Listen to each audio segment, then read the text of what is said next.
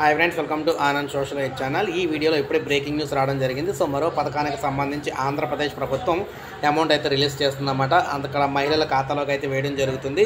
దానికి సంబంధించిన పూర్తి వివరాలు మీకు ఎక్స్ప్లెయిన్ చేస్తాను. ఈ టాపిక్లోకి వెళ్ళిపోదాం. వచ్చేది విద్యా దీవెన మొదటి విడతనమాట సో ముఖ్యంగా రెండు వేల ఇరవై ఇరవై ఒకటి ఏడాదికి మూడు విడతల చెల్లింపునకే పరిమితం అయితే చేశారు. రెండు వేల ఇరవై ఇరవై ఒకటి విద్యా సంవత్సరానికి సంబంధించిన జగనన్న విద్యా దీవెన నాలుగో విడత సాయాన్ని ప్రభుత్వం నిలిపివేసి నిలిపివేసినట్లయితే తెలిపింది. కరోనా వ్యాప్తి నేపథ్యంలో ఆ ఏడాది తరగతి పూర్తి స్థాయిలో జరగలేదని కొంతమేర జరిగిన అవి ఆన్లైన్ తరగతులు పరిమితం అయ్యాయని ప్రభుత్వం వాస్తవికత భావిస్తున్నట్లు తెలుస్తుందన్నమాట.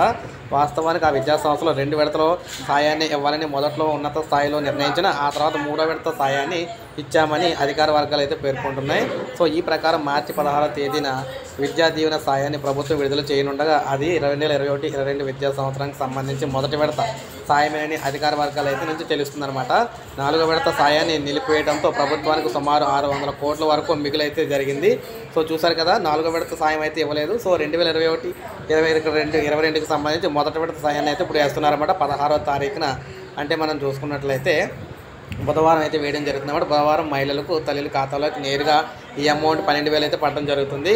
సో ఇది ఫ్రెండ్స్ అంటే మనకి విద్యా దీవెన అయితే మనకి చూసుకున్నట్లయితే రియంబర్స్మెంట్ బట్టి పడుతుందన్నమాట అదే వసతి దీవెన అయితే పదివేల రూపాయల చొప్పున అయితే వేస్తారు. సో మొత్తం మీద ఆయా దాన్ని బట్టి అమౌంట్ అయితే క్రియేట్ అవ్వడం జరుగుతుంది. ఇంజనీరింగ్కి ఒకలాగా అదేవిధంగా డిప్లొమాకి ఒకలాగా ఈ విధంగా అయితే ఉంటాయి కదా దాన్ని బట్టి అనమాట సో ఇది ఫ్రెండ్స్ ఈ వీడియో. నేను నచ్చితే లైక్ చేయండి సబ్స్క్రైబ్ చేసుకోకపోతే మన ఛానల్ సబ్స్క్రైబ్ చేసుకోండి.